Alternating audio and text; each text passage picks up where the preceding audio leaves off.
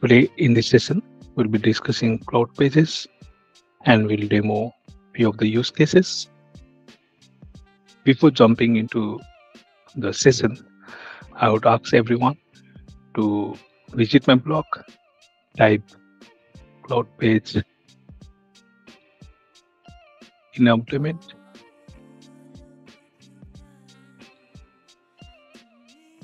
I have already compiled four blog series on cloud page enablement. I'll request everyone to come to this blog and read my blogs on this cloud page series. Now let's directly jump to our cloud page. You can click on the cloud page menu here. And till today, I have compiled more than three use cases. One is one click unsubscribe. The other one is button click unsubscribe. The third one is lead capture form. And the fourth one is the preference center. I have tried to utilize very simple implementation technique that I'm going to demo you now. So let's go with the first use case that is one click unsubscribe. So let's copy this code, open the visual editor and open the HTML editor and paste. Here you have the CSS part and we have the AMP script and then a HTML block. And here I'm using AMP script and through the AMP script, I'm basically creating a subscriber object and then passing all those parameters that are required for that subscriber definition. And then I'm invoking the update to the subscriber object. There is no hard coding, so you don't have to worry about anything. Now let's jump to our Marketing Cloud instance. Let's navigate to Web Studio and click on Create Collection. Give a name as subscriber management. Click on save, open the collection and let's create a landing page and say this as one click unsubscribe. Click next, save.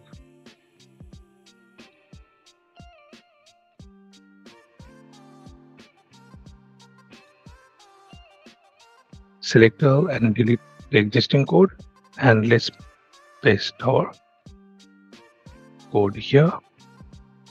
Let's click on save.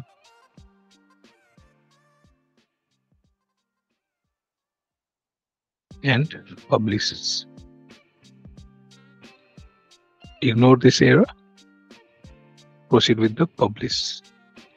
Let's click on the publish cloud page and our page rendering is correct. Let's create one subscriber.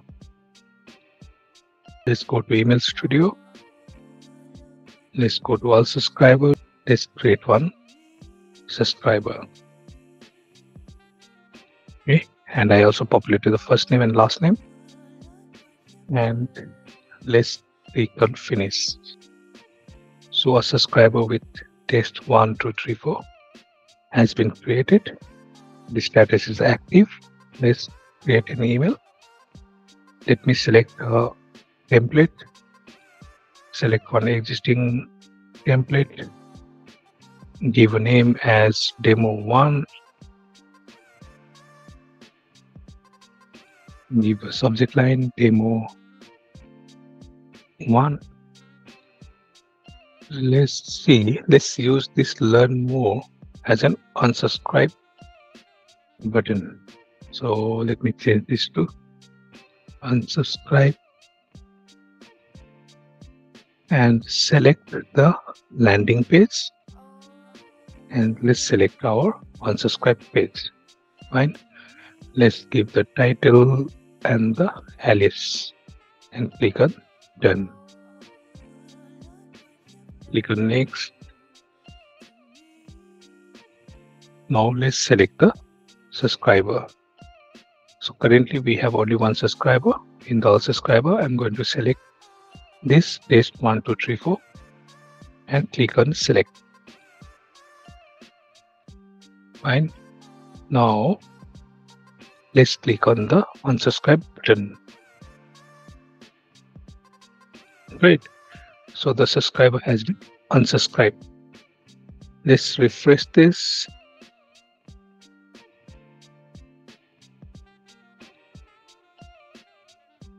Let's validate the subscriber status. So it is unsubscribed. Fine. So in this code, I didn't modify a single line of code and everything is working fine. Let's go to our second use case. That is one button. Click unsubscribe. Let's copy this code again. Let's open our HTML editor. Again, the same structure. We are not going to touch the CSS. Here, you need to make a small change. You need to just use it as a request parameter as an object. So we need to pass subscriber key as a parameter, request parameter in our cloud page URL and everything remains the same. Here we are only checking the condition that if submitted equals to true, then unsubscribe. And this submitted is basically a hidden attribute, which is here as part of our input field. Create on the cloud page, Let's give a name as button unsubscribe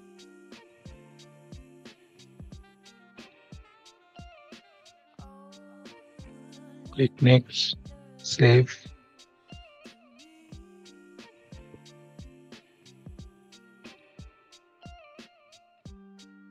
delete this and paste our code. Let's click on save.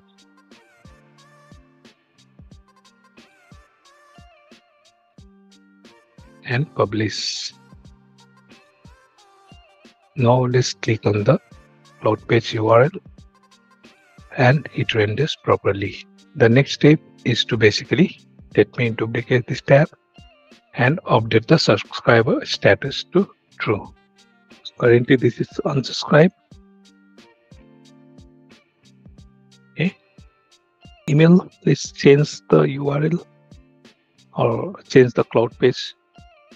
Yeah, so we are now selecting button unsubscribe but as I told you, we need to pass the subscribe key as a parameter.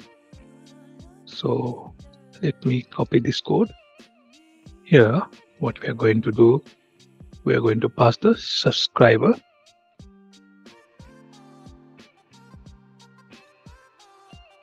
key as a parameter. And here we are going to use subscriber key subscriber key fine. Here we don't have the redirect to. So I'm appending the redirect to function as well.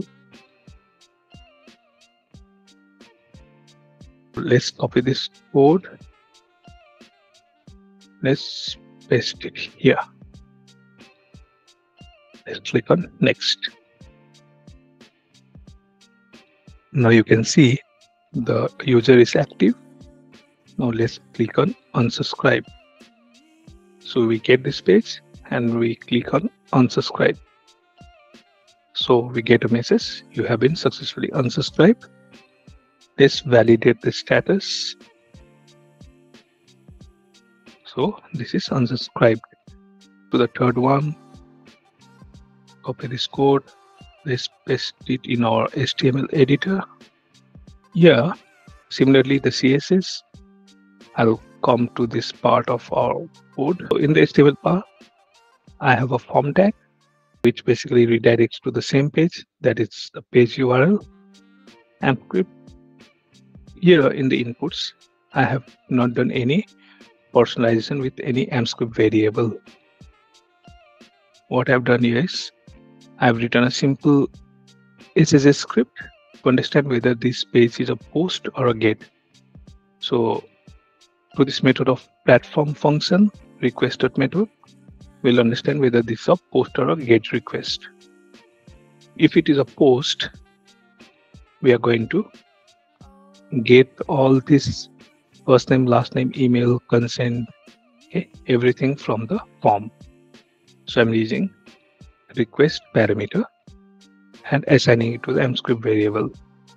And once I get these values, I'm going to pass it to the subscriber object and based on the values I'm going to update my all subscriber. Similar to the previous two different use cases.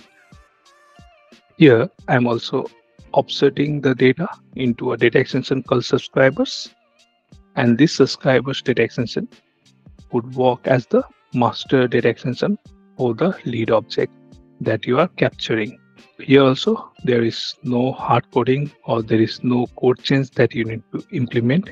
So let me copy this. Let's go to our cloud page and let's create another landing page. Click next save.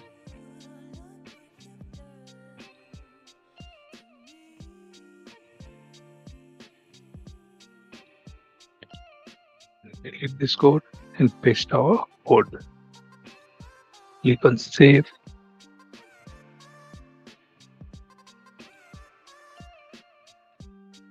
And publish. Let's click on the URL. So our form got loaded. Let's fill up the form. Let me give the email address as plus est01 and let's provide the consent. Okay? And let's click on the sign up button. Great. So the subscriber has been created. Let me again create another one.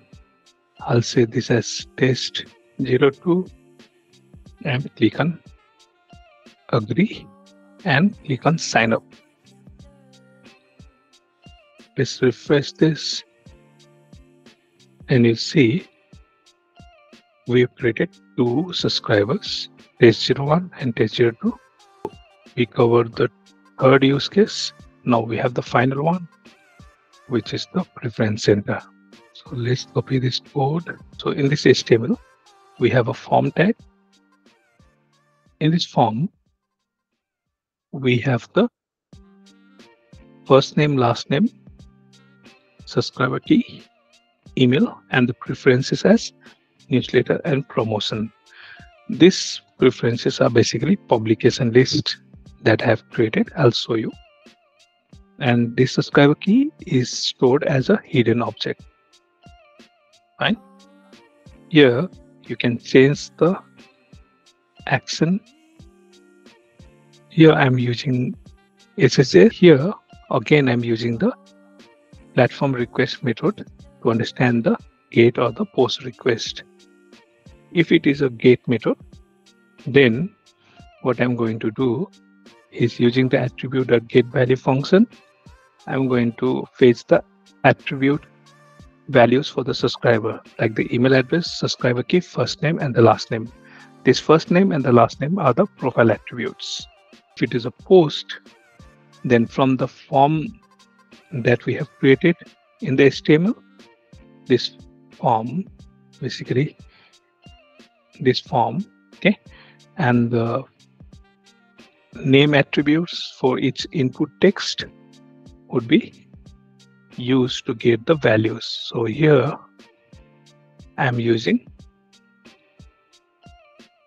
get form field function to get the values from the form that has been submitted to this page you need to know the publication list id here this is hard coded so you have to keep that in mind.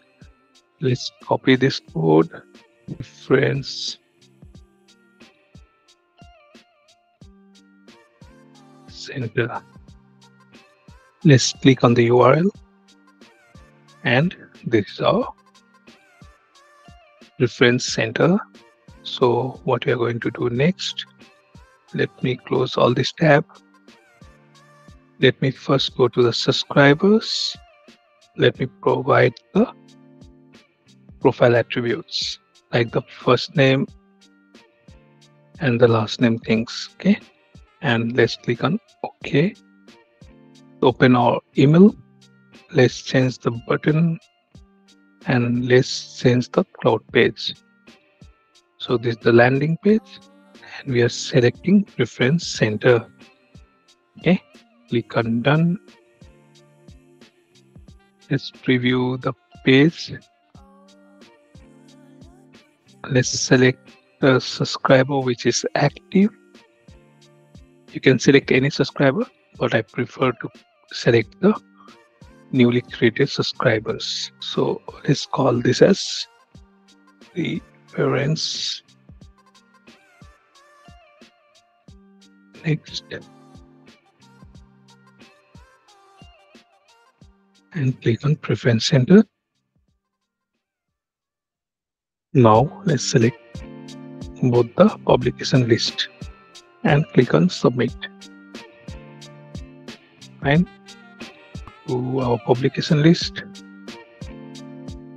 And now you can see the subscriber count as 1 1 here the test 01 has been added to the publication list. Let's open the other one promotion one here also it's added. I hope you all like the demo and hope you learned something new today. So i'll leave you all here and we'll meet in some another session. Till then see you all. Bye